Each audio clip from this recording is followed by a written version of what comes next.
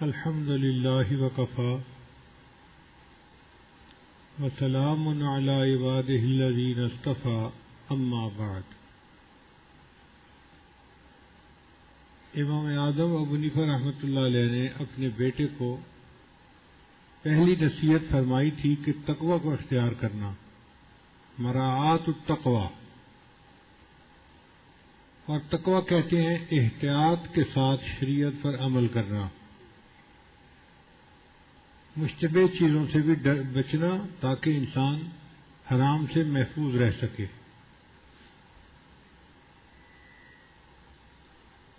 عام مثال سمجھ لیجیے کہ غیر محرم عورت کے چہرے کو دیکھنا حرام ہے۔ لیکن اگر اس نے برقع پہنا ہوا ہو تو پھر اس کی طرف نظر کا اٹھنا جائز ہے۔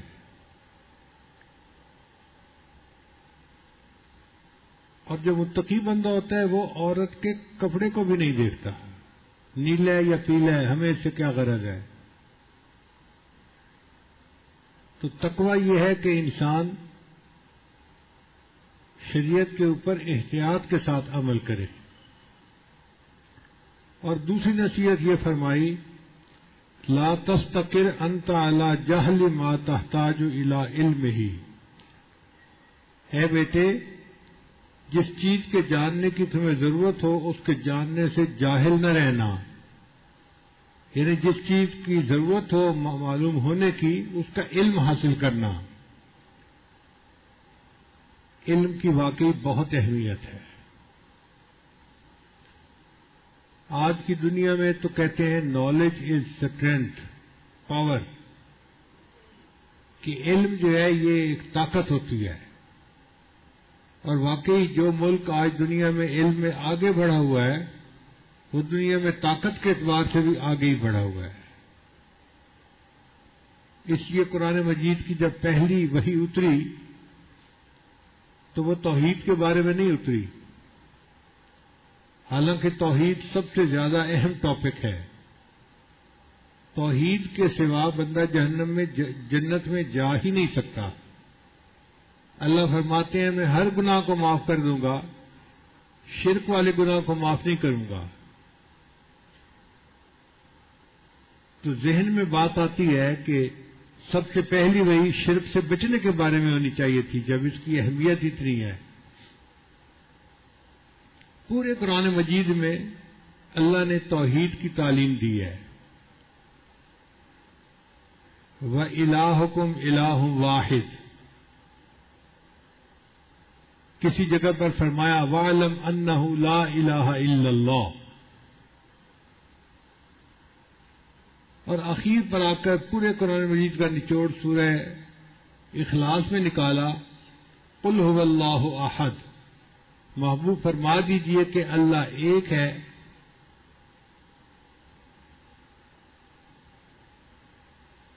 اور اللہ سمد اللہ سمد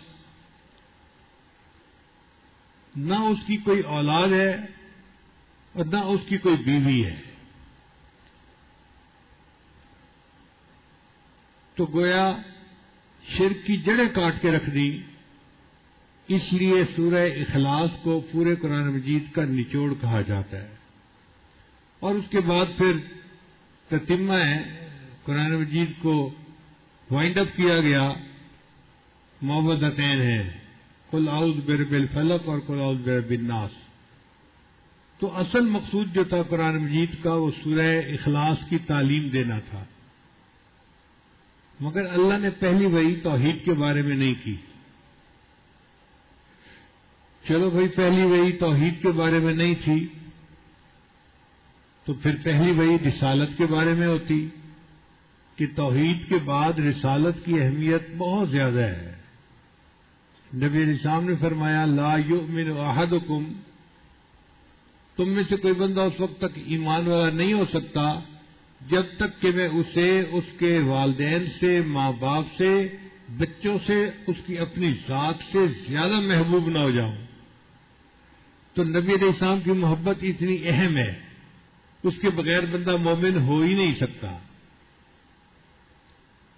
مگر دوسری وہی رسالت کے بارے میں بھی نہیں تھی۔ چلو بھائی، اگر رسالت کے بارے میں نہیں تھی تو قیامت کے دن کے بارے میں ہوتی۔ کہ قیامت کے دن کی اہمیت بہت زیادہ ہے، اس کے نام اعمال تولے جائیں گے اور بندے کے لیے فیصلہ ہوگا، یا تو وہ زندگی کی بازی جیت جائے گا یا زندگی کی بازی ہار جائے گا۔ اسی اللہ فرماتے ہیں ام یتسا علون ان نب عظیم ایک بڑی خبر کے بارے میں یہ پوچھتے ہیں۔ تو قیامت کے دن کو اللہ نے بڑی خبر کہا ہے۔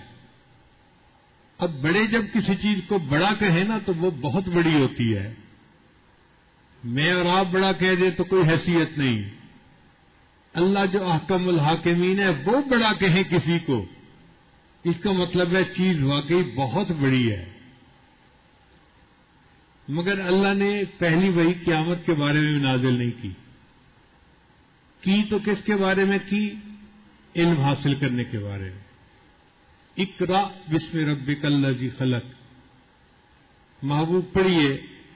اس رب کے نام کے ساتھ جس نے پیدا کیا۔ تو اقرا کا نام جو ہے، یہ لفظ سب سے پہلا تھا جو وہی میں اتارا گیا۔ اس کا مطلب ہے کہ پڑھنا بہت اہم ہے۔ اور واقعی اس قوم کی ساری بیماریوں کا علاج پڑھائی میں ہی ہے۔ دنیا کی بیماریاں یا دنیا کے اندر جو ہمیں ذلتیں ہیں، ان کا علاج بھی تعلیم میں ہے۔ اور دین کے میدان میں جو ذلتیں ہیں، اس کا علاج بھی تعلیم میں ہے۔ ہمیں چاہیے کہ ہم علم حاصل کریں اور اپنے آپ کو علم کے زیور سے سجائیں۔ علم کی طرف توجہ زیادہ دینی چاہیے۔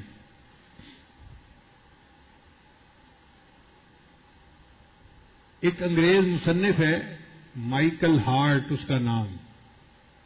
عیسائی ہے۔ اس نے کتاب لکھی۔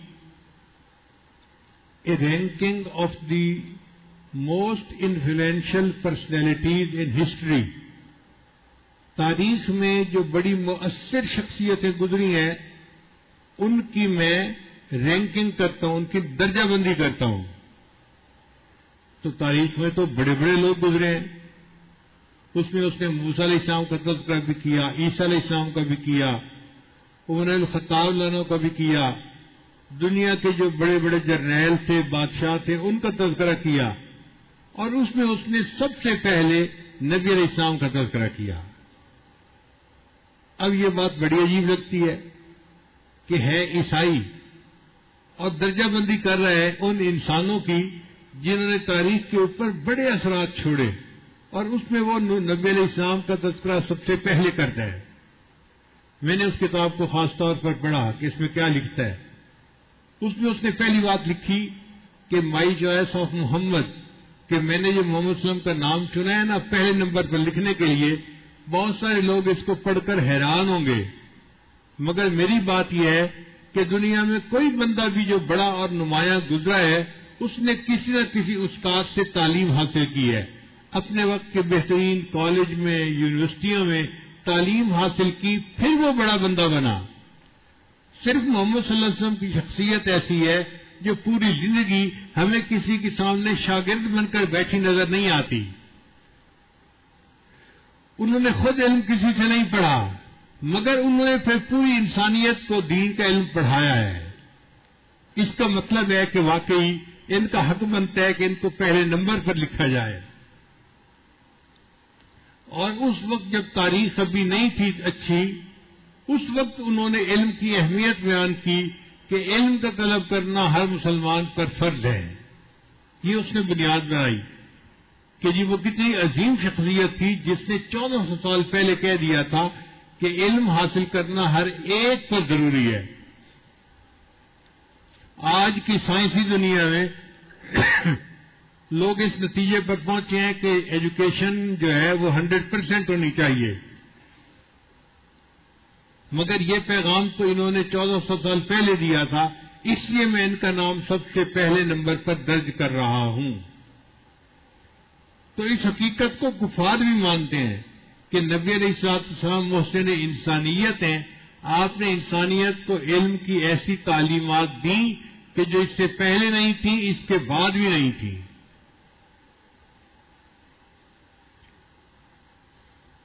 ایک مرتبہ ہمیں اس کا اور تجربہ ہوا۔ لاہور میں ایک یونیورسٹی ہے، لمز یونیورسٹی۔ ہم وہاں پر مینجمنٹ کا ایک کورس کر رہے تھے اور کورس کروانے والا جو پروفیسر تھا، اس کا نام تھا مسٹر براڈی وہ ایک جرمن انگریز تھا اور مختلف ملکوں میں وزٹنگ پروفیسر تھا۔ نو ملکوں کا وزٹنگ پروفیسر تھا۔ یعنی پوری دنیا میں دھوم تھی۔ اس کی کہ وہ مینجمنٹ کے سبجیکٹ کا بڑا ماہر انسان ہے۔ اس نے آ کے ہمیں لیکچر دیا انگلش میں۔ اس میں اس نے کہا کہ علم کا پہلا تصور یہ تھا کہ طالب علم سمجھتا تھا کہ مجھے اسکول کالج اور یونیورسٹی میں پڑھنا ہے اور پھر اس کے بعد مجھے فیکٹریوں میں جا کے کام کرنا ہے۔ لہذا کالج یونیورسٹی سے نکلنے کے بعد وہ اپنی کتابوں کو بند کر کے رکھ دیتا تھا اور پریکٹیکل کام میں لگ جاتا تھا۔ آج سائنس کی دنیا اس نتیجے پر پہنچی ہے کہ نہیں، طالب علم کو اس کے بعد بھی پڑھنا پڑتا ہے۔ یعنی جب وہ نوکری کر رہا ہوتا ہے نا، اس وقت نوکری کے متعلق علم بھی حاصل کرنا ہے۔ اس کو سیمینار اٹینڈ کرنے چاہیے کانفرنس اٹینڈ کرنی چاہیے ریسرچ پیپر پڑھنے چاہیے اپنی جاب کے بارے میں تاکہ وہ اس میں بھی علم میں آگے بڑھتا چلا جائے۔ تو بار بار وہ یورپین کمیونٹی کا نام لے رہا تھا کہ یورپین کمیونٹی اس نتیجے پر پہنچی ہے کہ بندے کو پریکٹیکل لائف میں بھی پڑھنا چاہیے۔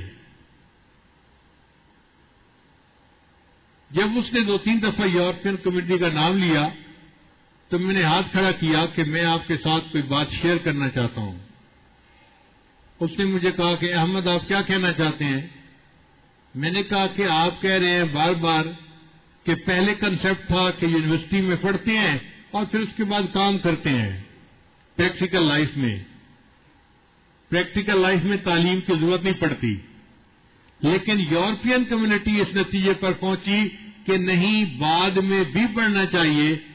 کانفرنس اٹینڈ کرنی چاہیے سیمینار اٹینڈ کرنے چاہیے ریسرچ پیپر پڑھنے چاہیے، جو پروفیشنل کورسز ہیں وہ کرنے چاہیے اور علم میں آگے بڑھنا چاہیے۔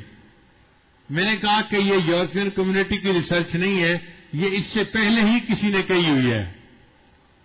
تو جب میں نے یہ کہا تو وہ بڑا حیران ہو گیا۔ میری طرف دیکھنے لگا، کہنے لگا، مسٹر احمد، آپ کیسے کہہ رہے ہیں کہ اس سے پہلے کسی نے یہ بات کی کہ نہیں، تمہیں اس کے بعد بھی پڑھنا چاہیے؟ میں نے نبی السلام کی ایک چھوٹی سی حدیث پڑھی کہ نبی السلام نے فرمایا اطلب العلم من المحد الى اللحد علم حاصل کرو پنگھوڑے سے لے کر قبر میں جانے تک۔ تو چودہ سو سال پہلے جب علم کی اہمیت کا لوگ اندازہ ہی نہیں لگا سکتے تھے، اللہ کے محبوب نے پنگھوڑے سے لے کر قبر میں پہنچنے تک علم حاصل کرنے کا حکم دیا۔ میں نے کہا، یہ تو میرے آقا کا فرمان ہے۔ آپ کہاں کہتے ہیں کہ یورپین کمیٹی نے ریسرچ کی وہ تو اس نتیجے پر بعد میں پہنچے ہیں۔ وہ تھوڑی دیر تو سوچتا رہا، پھر اس نے اپنا بریف کیس کھولا اور اس نے جو اپنی ڈائری نکالی۔ اور مجھے کہنے لگا کہ آپ عربی میں بھی اس حدیث کو لکھ دیں اور انگلش میں ٹرانسلیشن بھی لکھ دیں۔ اور میں آپ سے وعدہ کرتا ہوں کہ میں پوری دنیا میں جہاں بھی لیکچر دوں گا، میں ان کو بتاؤں گا کہ انسانی تاریخ میں سب سے پہلے مسلمانوں کے پیغمبر اسلام نے آئیڈیا دیا کہ صرف اسکولوں کالجوں میں نہیں پڑھا جاتا، اس کے بعد بھی پوری زندگی علم کو حاصل کیا جاتا ہے۔ تو یہ اللہ کے محبوب صلی اللہ علیہ وسلم کی تعلیمات تھیں جو چودہ سو سال پہلے ادا کی گئی۔ علم کی اہمیت اتنی زیادہ ہے۔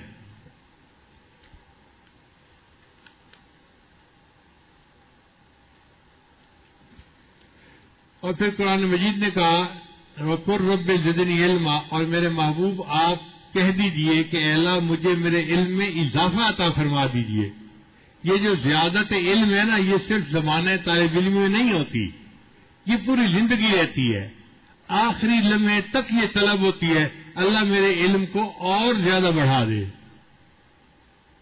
بلکہ ہمارے بعض علماء تو ایسے تھے کہ آخری لمحے تک علم پڑھتے پڑھتے ہی ان کی وفات ہو گئی۔ امام ابو یوسف رحمۃ اللہ علیہ اپنی چارپائی پر لیٹے ہوئے تھے، آخری لمحات تھے تو آپ نے طلباء سے مسئلہ پوچھا کہ رمیہ جی مار کس طرح افضل ہے؟ سواری پہ سوار ہو کر کرنا افضل ہے یا پیدل چل کے کرنا افضل ہے؟ راکبن افضل ہے یا معاشین افضل ہے؟ تو کسی نے کہا جی کہ راکبن افضل ہے، فرمایا نہیں۔ کسی نے کہا جی پیدل چل کے کرنا افضل ہے، فرمایا نہیں۔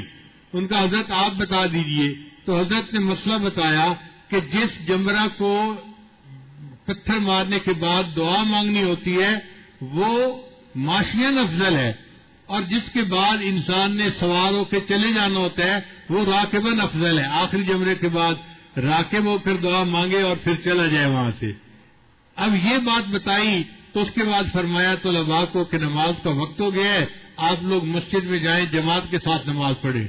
تو لبا کہتے ہیں، ہم چلے۔ ابھی دروازے تک نہیں پہنچے تھے کہ پیچھے اونچا کلمہ پڑھنے کی آواز آئی۔ جب ہم نے لوٹ کے دیکھا، حضرت کلمہ پڑھ کے اللہ کو پیارے ہو گئے تھے۔ آخری لمحے تک علم کی طلب ان کو نصیب رہی۔ یہ علم کی زیادت ایسی ہے۔ حضرت مولانا حبیب الرحمان رحمت اللہ علیہ دالو بند کے شیخ الحدیث سے مفتی تھے۔ ان کے بارے میں آتا ہے کہ جب وہ کیلولا کے لیے لیتے تھے تو کمرے میں اکیلے ہوتے تھے۔ ایک دفعہ جب طالب علم آیا کہ حضرت کو میں جگاؤں، تیاری کریں، تو دیکھا کہ ان کے سینے کے اوپر ایک کاغذ پڑا ہوا ہے اور حضرت کی روح پرواز کر چکی ہے۔ اور وہ کاغذ دیکھا تو وہ ایک استفتا تھا، کسی نے فتوا پوچھا تھا۔ وہ فتوا پڑھتے پڑھتے انہوں نے کلمہ پڑھا اور اللہ کو پیارے ہو گئے۔ یعنی آخری لمحے تک علم کو حاصل کیا، یہ ہمارے بزرگوں کی شان تھی۔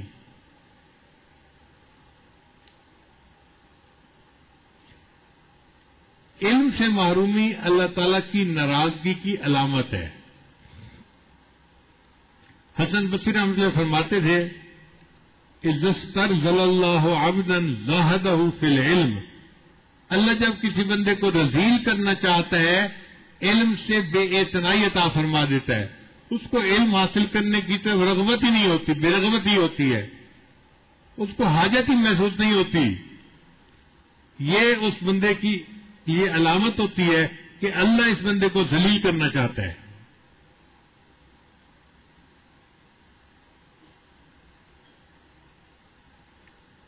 علم وہ نعمت ہے جو دنیا میں بھی انسان کو فائدہ دیتی ہے اور مرنے کے بعد بھی فائدہ دیتی ہے۔ چنانچہ جب کوئی انسان فوت ہو جاتا ہے ان قطع ان ہو عمل ہو اللہ من سلاسن سارے اعمال منقطع ہو جاتے ہیں سوائے تین عملوں کے۔ ایک اگر اس نے کوئی صدقے جاریہ کیا تھا، جیسے کنواں بنوایا مسافر خانہ بنوایا، مسجد بنوائی، مدرسہ بنوایا، تو صدقے جاریہ کا ثواب ملتا رہتا ہے۔ ایک عمل یہ۔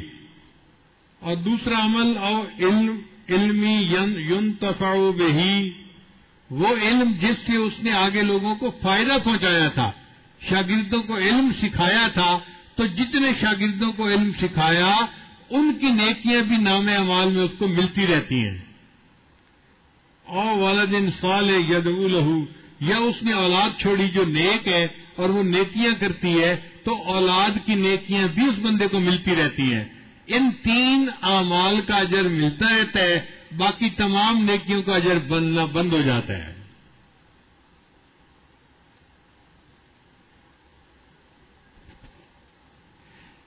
نبی نظام نے شاید فرمایا جو بندہ علم حاصل کرتا ہے، ان کے لیے پانی میں مچھلیاں بھی استغفار کرتی ہیں اور ہوا کے اندر پرندے بھی اس کے لیے استغفار کرتے ہیں۔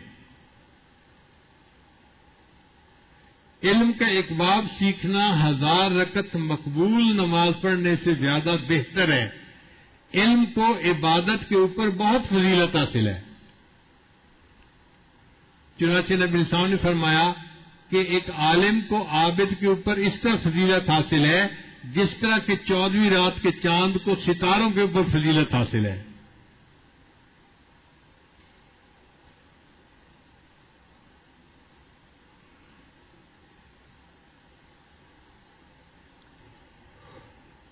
جس نے علم کی تلاش کی، وہ اللہ کے راستے میں ہے۔ آج کل ہمارا ذہن بنا ہوا ہے کہ جو تبلیغ جماعت میں سے روزے پر نکلے، چلے پہ نکلے، وہ اللہ کے راستے میں ہوتا ہے ہاں صحیح ہے۔ مگر نبی علیہ سات اسلام کس کو کہہ رہے ہیں اللہ کے راستے میں؟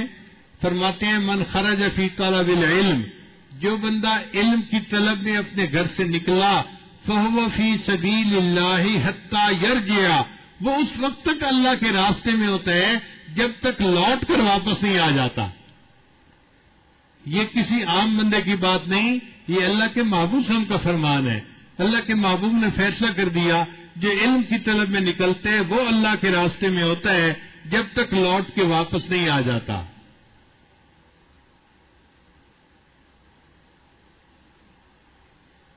اس لیے جو علم طلب کے لیے نکلتے ہیں، اس کے لیے جنت کا راستہ آسان ہوتا ہے۔ منسلح کا طریقن یلکام صفی ہی علم صاحل اللہ بہی طریقن ال جنتی۔ مسلم شریف کی روایت ہے، جو علم کی تلاش میں نکلتا ہے، اللہ اس کے لیے جنت کا راستہ آسان فرما دیتے ہیں۔ اب ہم چاہتے ہیں کہ ہم آسانی سے جنت میں جائیں تو ہمیں علم حاصل کرنا چاہیے۔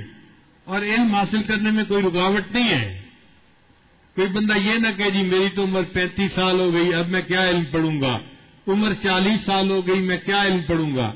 حضرت ابو رحر رضی اللہ تعالیٰ عنہ ساٹھ سال کی عمر میں مسلمان ہوئے اور اس وقت انہوں نے نبی اسلام سے علم سیکھنا شروع کیا اور وہ سب سے بڑے محدث بنے۔ صحابہ میں سب سے زیادہ حدیث بیان کرنے والے وہی صحابی ہیں۔ تو اگر وہ ساٹھ سال کی عمر کے بعد علم حاصل کر سکتے ہیں، تو ہم کیوں نہیں کر سکتے؟ اور ہم نے دیکھا بھی ہے بہت سارے ایسے دوستوں کو کہ جن کو علم کا شوق ہوا، انہوں نے علم کو سیکھا۔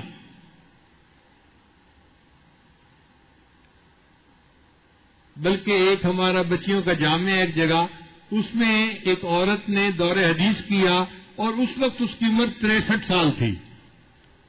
عورت نانی دادی بن چکی تھی۔ تریسٹھ سال اس کی عمر تھی اور اس وقت اس نے بخاری شریف کا پورا کورس مکمل پڑھا۔ تو اگر انسان پڑھنے پہ آئے تو عمر اس میں کوئی رکاوٹ نہیں بنتی۔ ہمارے ایک ساتھی تھے، قرآن مجید کے حافظ بنے۔ مجھے انہوں نے حکم دیا کہ آپ نے میری دستار بندی کروانی ہے۔ میں حاضر ہو گیا۔ اب دستار بندی کرواتے ہوئے ان کو میں دیکھ رہا تھا۔ سر کے بال سفید، داڑھی کے بال سفید، مچھوں کے بال سفید بہوں کے بال سفید اور پلکوں کے بال سفید۔ اور جو بازوؤں کے بال تھے وہ بھی سفید، پورے جسم پہ بال سفید تھے۔ اس عمر میں انہوں نے قرآن مجید کا حفظ مکمل کیا۔ میں نے ان سے پوچھا، آپ کی عمر کتنی ہوگی؟ کہنے لگے جی میری عمر نبے سال ہوگی۔ اگر نبے سال کی عمر میں کوئی بندہ قرآن مجید کا حفظ مکمل کر سکتا ہے، تو ہم کیسے بہانے بنا سکتے ہیں کہ جی ہم تو اب نہیں پڑھ سکتے؟ تو عمر اس میں کوئی رکاوٹ نہیں ہے۔ میں نے ان سے پوچھا کہ اب آپ کیا کریں گے؟ کہنے لگے جی میں علم میں داخلہ لے لوں گا، بخاری شریف میں۔ انہوں نے جی عامہ میں داخلہ لے لیا ایک مدرسے میں۔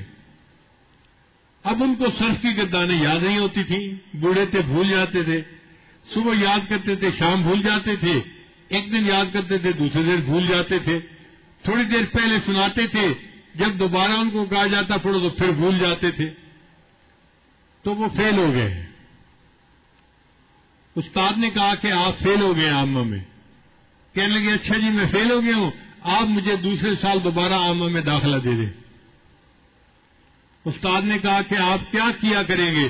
کہنے لگے، میں یہاں رہ کے پڑھتا ہی رہوں گا، جب تک کہ میں پاس نہیں ہو جاتا۔ فیل ہو جاؤں گا، پھر اسی سال پھر داخلہ لے لوں گا۔ پھر فیل ہو گیا، پھر داخلے لوں گا۔ ابھی تو ایک ہی دفعہ فیل ہوا ہوں۔ مجھے آپ دس دفعہ بھی فیل کریں گے تو میں گیارہویں دفعہ پھر داخلہ لے لوں گا۔ اگر جذبہ علم حاصل کرنے کا ایسا ہو تو انسان نوے سال کی عمر میں بھی طالب علم بن جاتا ہے۔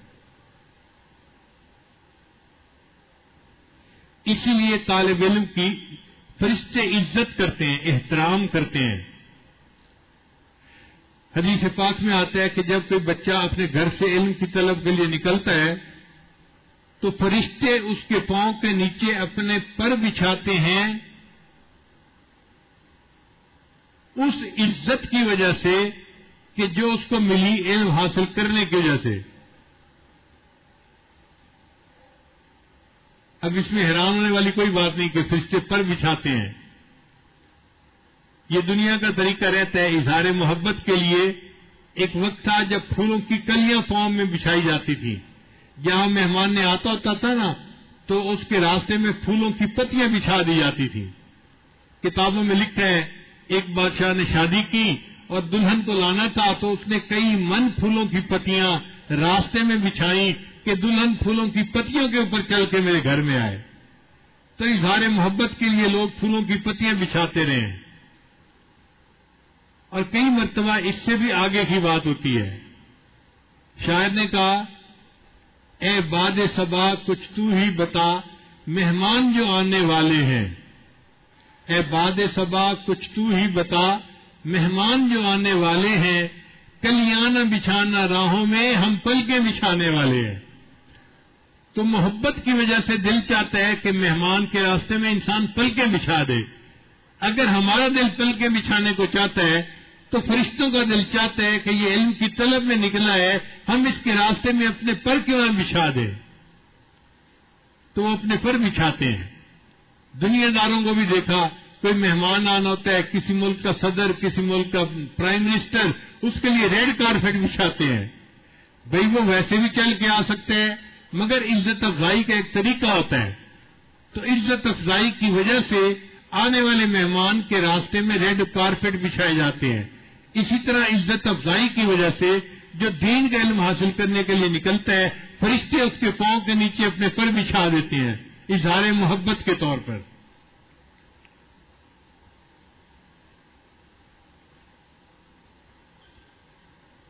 اس لیے عزیز پاک میں آتا ہے کہ جو علم کی طلب میں نکلا، کانا کفارت الما مزا وہ اس بندے کے پچھلے گناہوں کا کفارہ ہو جاتا ہے، علم کا حاصل کرنا۔ اللہ اس علم کی طلب کی وجہ سے اس کے پچھلی زندگی کے سب گناہوں کو معاف فرما دیتے ہیں۔ چنانچہ روٹی کا جب کوئی سوال کرتے ہیں تو تین بندوں کی بخشش ہوتی ہے۔ ایک سائل آیا، اس نے روٹی مانگی۔ اور کسی بندے نے روٹی دے دی تو اس پر تین بندوں کی مغفرت ہوئی۔ کون سی؟ جس نے روٹی میں اس سائل کو پہنچائی، اس کی بھی مغفرت ہو گئی۔ اور جس نے وہ روٹی پکائی گھر کی عورت نے، اس کی بھی بخشش ہو گئی۔ اور جس نے اس کے لیے دولت کمائی، اس مرد کی بھی مغفرت ہو گئی۔ تو ایک سائل کو روٹی دینے پر تین بندوں کی مغفرت ہوتی ہے۔ کمانے والے کی، پکانے والے کی، پہنچانے والے کی۔ اور حدیث پاس میں آتے ہیں کہ جس نے علم کا سوال پوچھا اور استاد نے جواب دیا، اس سوال اور جواب پر چار بندوں کی مغفرت ہوتی ہے۔ سب سے پہلے جس نے سوال پوچھا، اللہ اس سوال پوچھنے والے کی مغفرت فرما دیتے ہیں۔ دیکھیں روٹی کے سوال پہ سائل کی مغفرت نہیں کی۔ تم روٹی کے طلبگار ہو، تمہیں روٹی مل گئی مدعا پورا ہو گیا، جاؤ اپنے گھر جاؤ۔ لیکن علم کا طلبگار جب سوال پوچھتا ہے، اللہ فرماتے ہیں، تو علم کا طالب ہے، سب سے پہلے میں تیری ہی مغفرت کرتا ہوں۔ پھر دوسری مغفرت، جس استاد نے ان کو جواب دیا، اس استاد کے گناہوں کی بھی مغفرت فرما دی جاتی ہے۔ اور تیسرا، جو کلاس میں باقی بچے بیٹھے ہوئے تھے، ہم سبق، ہم جماعت، اللہ ان کو بھی معروم نہیں جانے دیتے، ان کی بھی مغفرت کر دی جاتی ہے۔ اور چوتھا، وہ بندہ جو اس مدرسے کا تعاون کرتا ہے، کاروباری بندہ ہے، فیکٹری لگائی ہے، مدرسے میں تعاون کرتا ہے، جس کی وجہ سے بجلی کے بل دیے جاتے ہیں، جس کی وجہ سے استاد کو تنخواہ دی جاتی ہے، باقی کھانا دیا جاتا ہے طلباء کو، وہ بندہ اپنے کاروبار میں دکان پہ بیٹھا ہوگا، فیکٹری میں بیٹھا ہوگا۔ سوال مدرسے میں بچے نے پوچھا، اللہ اس پر اس فیکٹری میں بیٹھے ہوئے بندے کی بخش فرما دیتے۔ تو سوال کے پوچھنے پر اللہ چار بندوں کی بخشش فرماتے ہیں۔ اس سے اندازہ لگائیے کہ اللہ رب العزت کی نظر میں علم کا حاصل کرنا کتنی اہمیت رکھتا ہے۔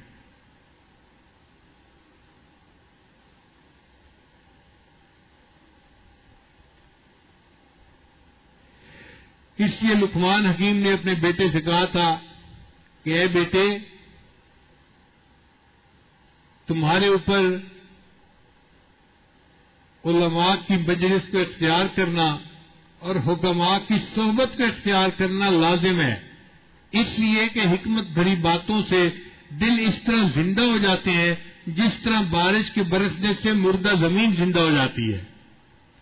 تو اللہ تعالیٰ علماء کی باتوں سے مردہ دلوں کو زندہ فرما دیتے ہیں۔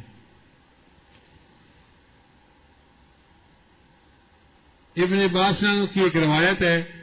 جس میں وہ فرماتے ہیں کہ علماء کے ساتھ بیٹھنا بھی عبادت ہے۔ اس لیے اللہ تعالیٰ قرآن میر فرماتے ہیں کل حلیت الدین یا لمون ولدین لا یا لمون اے محبوب، فرما دیجیے کیا علم حاصل کرنے والا اور علم حاصل نہ کرنے والا یہ دونوں برابر ہو سکتے ہیں؟ یہ برابر نہیں ہو سکتے۔ جس طرح اندھیرا اور اجالا برابر نہیں ہو سکتے دھوپ اور چھاؤں برابر نہیں ہو سکتے ول ظلمات ولن نور اور ظلمت اور روشنی برابر نہیں ہو سکتے، اسی طرح اندھا اور آنکھوں والا برابر نہیں ہو سکتے، اسی طرح عالم اور جاہل یہ برابر نہیں ہو سکتے، جو جاہل ہے وہ اندھا ہے اور جو عالم ہے وہ آنکھوں والا ہے، یہ برابر کیسے ہو سکتے ہیں؟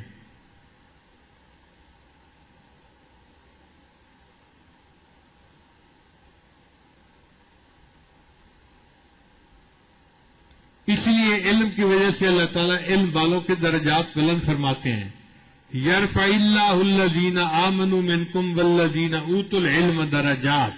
اللہ اوت العلم جو ہوتے ہیں، جن کو علم عطا کیا جاتا ہے، ان کے درجات کو بلند فرما دیتے ہیں ان کے علم کی وجہ سے۔ علماء کی فضیلت کے لیے اتنی بات کافی ہے کہ اللہ تعالیٰ نے ان کا تذکرہ قرآن مجید میں کیا۔ اپنے ساتھ، فرشتوں کے ساتھ علماء کا تذکرہ اکٹھا کیا۔ وہ عاطفہ کے ساتھ اکٹھا کر دیا۔ شاہد اللہ انہ لا الہ الا ہو۔ اللہ اس بات کی گواہی دیتا ہے کہ اللہ کے سوا کوئی معبود نہیں۔ کتنی بڑی بات ہے، اللہ گواہی دے رہے ہیں۔ ول ملائکتو اور ملائکہ بھی اسی بات کی گواہی دیتے ہیں۔ وہ العلم، اور علم والے بھی اسی بات کی گواہی دیتے ہیں۔ یعنی علماء کو اللہ نے معصوم فرشتوں کی گواہی کے ساتھ ایک جگہ پر قرآن میں اکٹھا کر دیا، اللہ کے یہاں علماء کا اتنا اونچا رتبہ ہے۔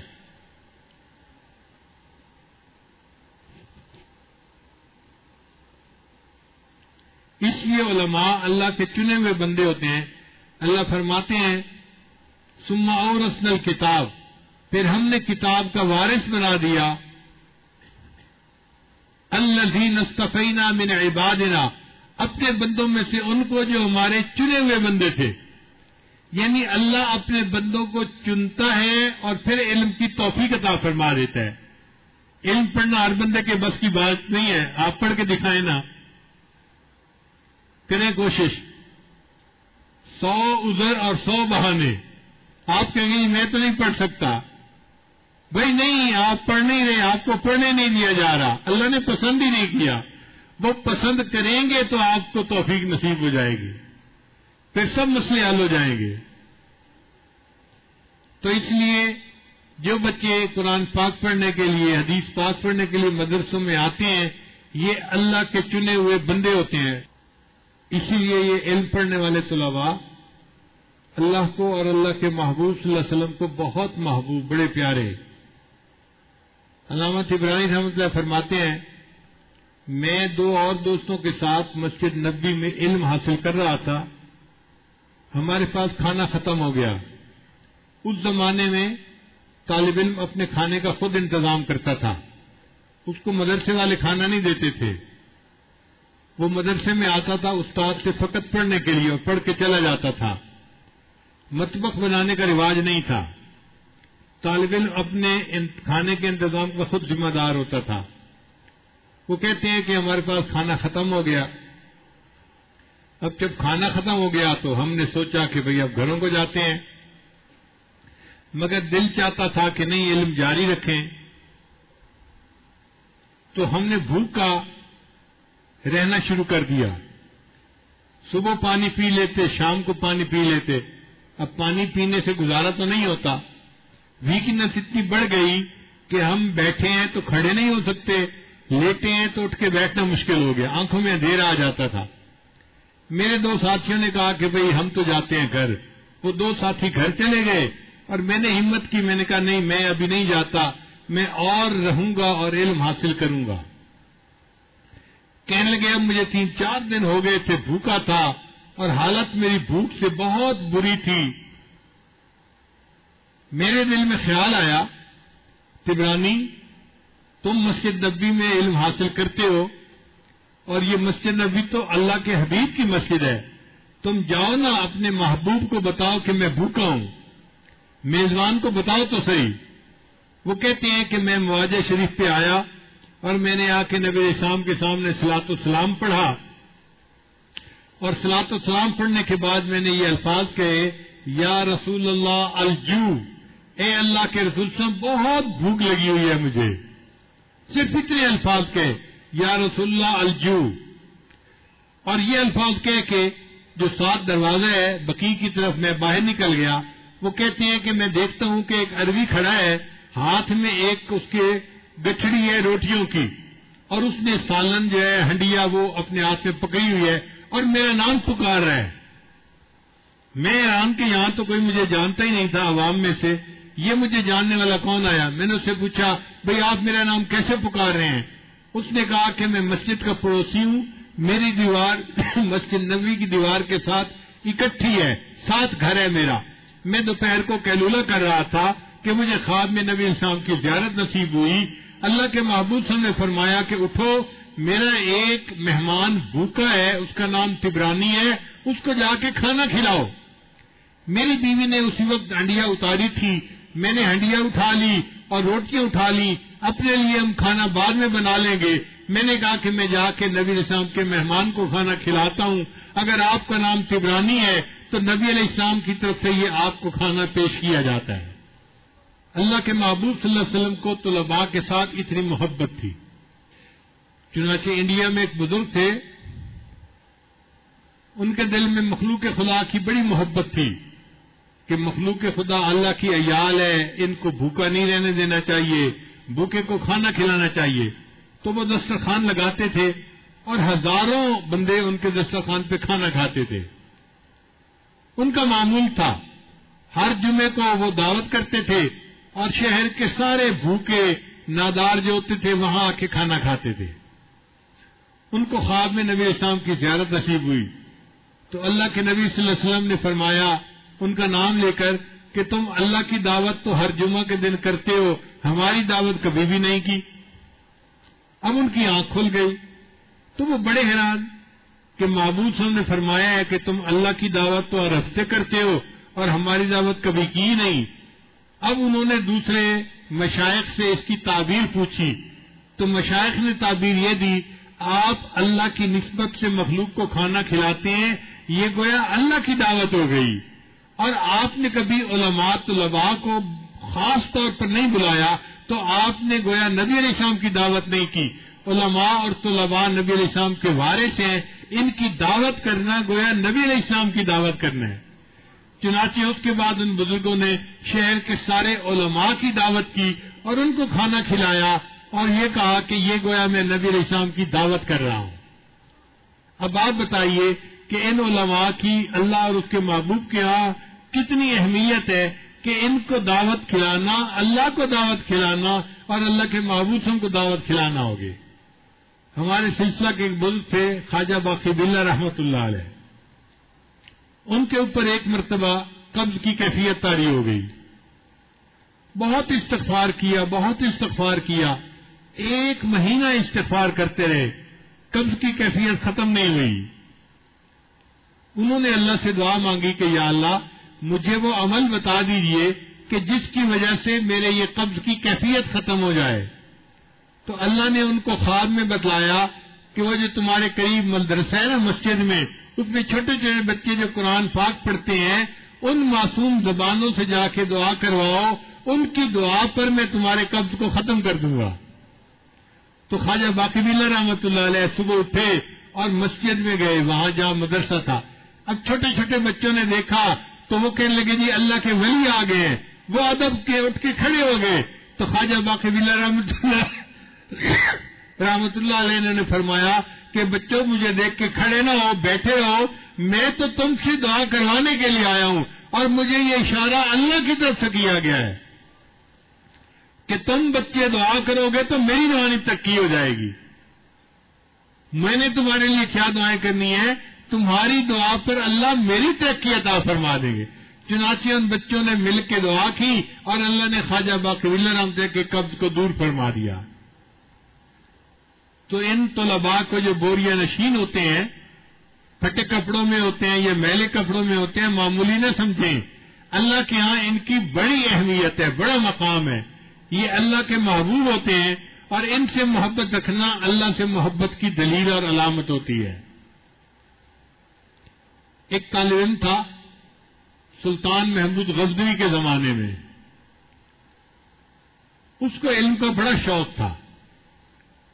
مگر مسئلہ یہ تھا کہ وہ دن کی روشنی میں تو پڑھ سکتا تھا، اور رات کو اندھیرا ہو جاتا تھا تو پڑھ نہیں سکتا تھا۔ آج کل تو یہ بجلی کی نعمت ہر جگہ موجود ہے۔ طالب علم دن میں پڑھے، رات میں بھی پڑھ سکتا ہے اس وقت چراغ جلانا پڑتا تھا۔ اور چراغ جلانے کے لیے اس کے پاس پیسے نہیں تھے، وہ غریب تھا۔ تو جب اندھیرا آ جاتا تو وہ روتا تھا کہ میں اب علم نہیں پڑھ سکتا۔ ایک دن اس کے ذہن میں خیال آیا کہ میں رات کو پڑھنے کا بھی بندوبست کر سکتا ہوں۔ وہ ایک ہندو کے پاس گیا، ہندو کی دکان تھی۔ اور ہندو کو کہا کہ دیکھیں، آپ کی دکان ہے اور اس میں بڑی مالیت کا سامان پڑا ہوا ہے۔ رات کے اندھیرے میں چوری کا امکان ہے، تو اگر آپ چاہیں کہ کوئی بندہ اس کا پہرا دے، تو میں اس کا ساری رات پہرا دے سکتا ہوں۔ شرط یہ ہے کہ آپ کو ایک چراغ جلا کے ساری رات رکھنا پڑے گا۔ روشنی کا بندوبست آپ کر دیں، پہرا میں دیا کروں گا۔ ہندو بڑا خوش ہو گیا کہ میں نے چراغ کا چھوٹا سا خرچہ کرنا ہے، تیل کا، اور اس پر میری دکان کا پہرا ہو جائے گا۔ چنانچہ وہ طالب علم پہرا بھی دیتا اور ساتھ بیٹھ کے کتاب بھی پڑھتا رہتا۔ اصل مقصود اس کا روشنی میں کتاب کو پڑھنا تھا اور علم کا حاصل کرنا تھا۔ چنانچہ وہ دن میں بھی پڑھتا تھا، رات میں بھی پڑھتا تھا۔ اللہ کی شان وہ طالب بڑا خوش تھا۔ اب ایک دن ہندو نے بیٹھ کے حساب لگایا کہ چوری کبھی ہوئی تو نہیں اس علاقے میں، تو میں تیل کا پیسہ کیوں ضائع کرتا ہوں؟ تو اس نے فیصلہ کیا طالب علم کو بتا دیا، کل سے میں چراغ جلانا بند کر دوں گا۔ اب تم بیٹھنا چاہتے ہو تو بیٹھو، نہیں چاہتے تو گھر کو جاؤ۔ وہ طالب علم بڑا رویا، بڑا اللہ سے دعائیں مانگی۔ یا اللہ، میرے یہ تو علم حاصل کرنے کا ذریعہ تھا۔ اب یہ ذریعہ بھی ختم ہو گیا تو میں رات کو علم کیسے حاصل کروں گا؟ وہ طالب روتا روتا سو گیا۔ خواب میں اس کو نبی اسلام کی زیارت نصیب ہوئی۔ تو نبی اسلام نے اس سے پوچھا، بچے، تو کیوں روتا ہے؟ اس نے کہا، اللہ کے بیچ میں میرے دل میں علم کی طلب ہے اور میں چاہتا ہوں کہ میں رات میں بھی پڑھوں اور وہ ہندو رات کو چراغ جلاتا تھا، اب اس نے چراغ جلانا بند کر دیا، اس لیے میں رو رہا ہوں۔ تو نبی اسلام نے فرمایا کہ اچھا تم بادشاہ کے پاس چلے جاؤ اور بادشاہ کو جا کر کہو کہ وہ اس جگہ ویسے ہی چراغ جلا کے رکھ دیا کرے، تاکہ لوگ راستہ دیکھیں اور آرام سے گزر سکیں۔ تو یہ تعلیم پوچھتا ہے اے اللہ کے وسلم، میرے کہنے پر وہ بادشاہ کیسے چراغ جلائے گا؟ تو نبی اسلام نے خواب میں فرمایا کہ بادشاہ کو کہنا، سلطان محمود کو کہنا، تم روزانہ رات کو پانچ سو مرتبہ شریف پڑھا کرتے تھے اور جس کا ثواب مجھے پہنچتا تھا، کچھ دنوں سے تمہارا یہ معمول قضا ہو رہا ہے۔ اگر یہ بات صحیح ہے، تو میں تمہیں پیغام دے رہا ہوں کہ اب اس کی مقافات کے لیے تم چراغ جلا دو تاکہ طالب علم اس کی روشنی میں پڑے اور جو کمی رہ گئی تمہارے عمل میں، اللہ اس کمی کو پورا فرما دیں گے۔ وہ طالب علم صبح اٹھ کے محمود، سلطان محمود کے پاس گیا، اسے نبی نشام پہ پیغام دیا۔ سلطان محمود نے اس کو گلے لگا لیا۔ کہنے لگا کہ یہ میرا ایسا معمول تھا جو میرا اور میرے اللہ کے درمیان راز تھا۔ میں نے کبھی کسی کو نہیں بتایا کہ میں رات کو کتنی مرتبہ دروشیف پڑھتا ہوں۔ جب تم نے آ کے بتایا تو مجھے سمجھ لگ گئی کہ میرا توحفہ میرے آقا کو ہر رات پہنچ جاتا ہے۔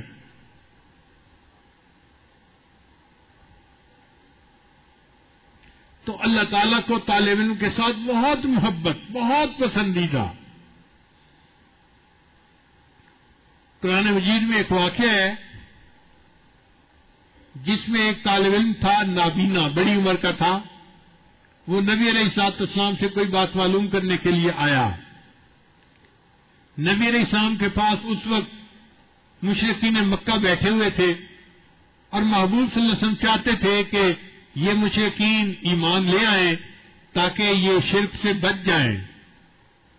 اور یہ جو طالب علم ہے، نابینا، اس کو تو سوال کا جواب میں کسی وقت بھی دے دوں گا۔ اور یہ دستور بھی ہے۔ اگر ڈاکٹر کے پاس کوئی نزل زکام کا مریض آئے نا، تو ڈاکٹر کہتا ہے جی آپ بیٹھ جائیں۔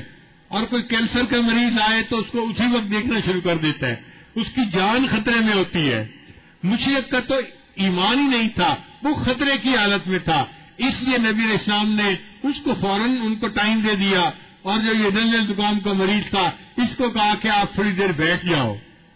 اب یہ جو نبی علیہ السلام نے اس طالب علم سے تھوڑی دیر کے لیے بے اعتنائی فرمائی، اللہ تعالیٰ کو یہ بھی بات محسوس ہو گئی کہ طالب علم آیا اور میرے محبوب نے اس کو جو ہے وہ جواب فوری کیوں نہیں دیا، بلکہ ان کی بجائے مشرقین کی طرف توجہ فرمائی۔ اللہ قرآن مجید میں آیت دال فرماتے ہیں ابسا و طول العما یہ ابسا و طول کے ایسے الفاظ ہیں، ان کا ترجمہ کرنے کی ہمت نہیں ہوتی۔ اللہ اپنے محبوب کو خطاب کر رہے ہیں ایک غائب کے سینے میں۔ اس نے توجہ نہ کی اور اس نے رخ پھیر لیا۔ جیسے کوئی انجان ہوتا ہے نا، آپ یوں سمجھیں کہ جیسے بیوی جو ہے، وہ ناراض کر بیٹھی خامن کو، وہ دفتر چلا گیا۔ اب اس کو احساس ہوا کہ نہیں، میں تو غلطی کر بیٹھی ہوں۔ تو وہ اس کو محبت کے میسج بھیجتی ہے۔ جلدی آ جاؤ، میں معافی مانگتی ہوں، میں سوری کرتی ہوں، میں یہ کرتی ہوں، میں وہ کرتی ہوں۔ اب ان بہت سارے میسج میں ایک انداز یہ بھی ہوتا ہے کہ وہ کبھی کبھی انجانا فن ظاہر کرتی ہے۔ کوئی آپ کو یاد کر رہا ہے۔ اصل میں تو وہ کہنا چاہتی ہے، میں آپ کو یاد کر رہی ہوں۔ مگر محبت بھی ہوتی ہے، ناز انداز بھی ہوتا ہے۔ تو اس ناز میں وہ یہ میسج کرتی ہے، کوئی آپ کو یاد کر رہا ہے کہ خامن کو پتہ چل جائے گا، میں اسے یاد کر رہی ہوں۔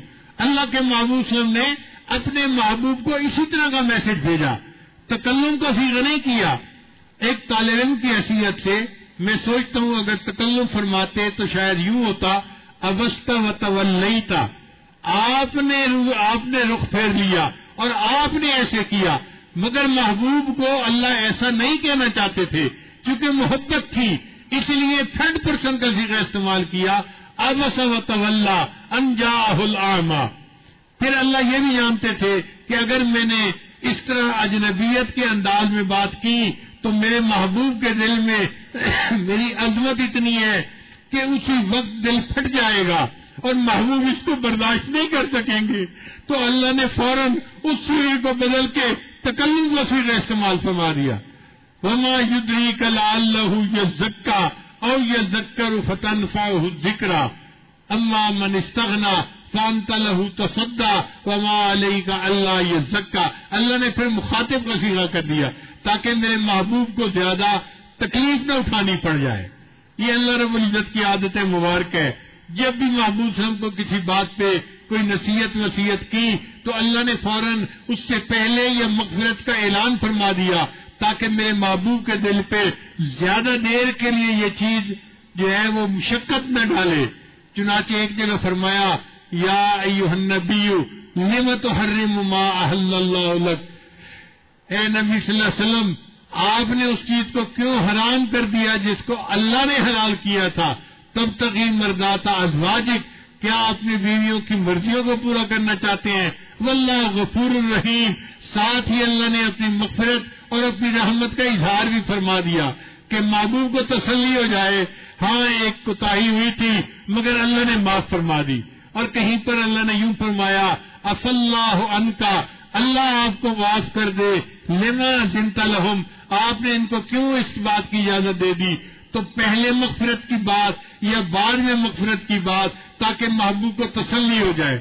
تو اللہ نے بھی ابصوت اللہ کے دو لفظ استعمال فرمائے۔ اور ظاہر کر دیا کہ ہمیں یہ بات اچھی نہیں لگی، مگر اے محبوب، ہم آپ کو خطاب اس انداز سے کر رہے ہیں، مگر فوراً تکلم کا سیرا استعمال کر کے بات کو نارمل کر دیا، مگر پتہ چل گیا کہ ایک طالب علم کو سوال کا جواب دینا اللہ کے ہاں کتنا درجہ رکھتا ہے۔ اللہ تعالیٰ ہمیں بھی صحیح علم کا طالب بنائے اور پوری زندگی طلب علم میں گزارنے کی توفیق عطا فرمائے وآخر آخر ان الحمد للہ رب العالمین۔